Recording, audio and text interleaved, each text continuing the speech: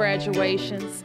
It is an opportunity to, to both reset, it's an opportunity to look back at what you've achieved, but also to look forward to what's next. The Deputy Mayor for Greater Economic Opportunity. I'm talking about Deanwood and Congress Heights, Anacostia, Upper Kennedy Street, and, and Georgia Avenue. We have a real shot here at making a difference with this role. So this arena in basketball will cut a path for opportunities at St. Elizabeth that we all will travel as our community moves to the bigger than.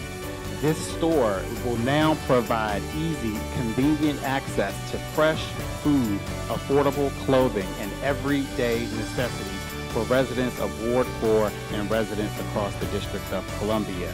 With this increase in the minimum wage, there are now more people and more families who are on the pathway to the middle class. The district couldn't be more proud uh, to welcome Pigmental Studios to come to our city. The arts are alive in Washington, D.C. I'm here to sign uh, some very important legislation. The district will not tolerate the sale of these drugs. The high number of closures we've had in the past 30 days uh, in large part is due to extra resources that the mayor has put in place to assist us with getting the job done.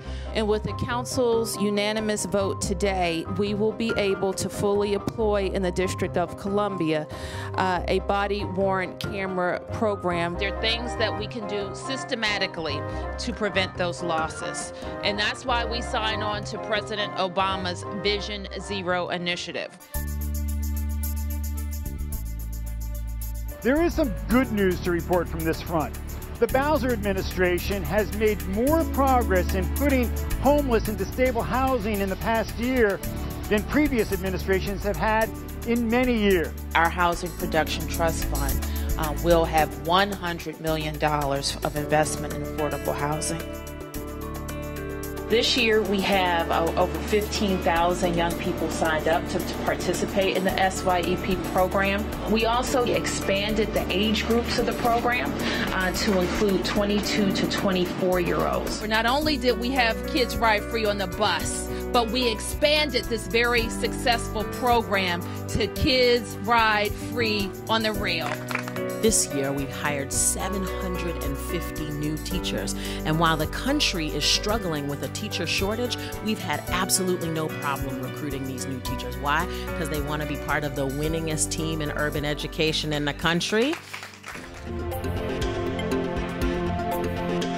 It's great to see you here, and it's a great day to get fit, DC, right?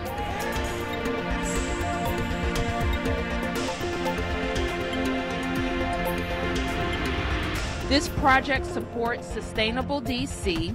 And I've said that any utility operating in the district must provide lasting and tangible benefits to DC ratepayers and residents the council and the mayor are working together uh, to make sure that we're just not talking, um, but we're walking the walk uh, as well.